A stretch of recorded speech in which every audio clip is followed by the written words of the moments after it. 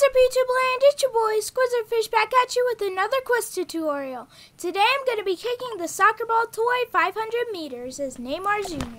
If you don't have the Neymar Jr. skin yet, click on the card above to find out how. You can do this quest anywhere, but I would suggest doing it on top of a mountain. That way when you kick it, it will roll as far as possible. So don't forget to kick that like and subscribe button for more of the fastest Fortnite tutorials on YouTube.